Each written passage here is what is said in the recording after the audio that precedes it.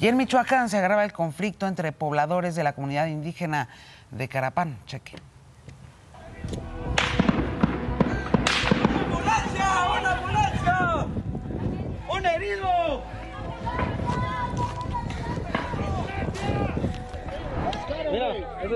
Aquí nos empezaron a disparar.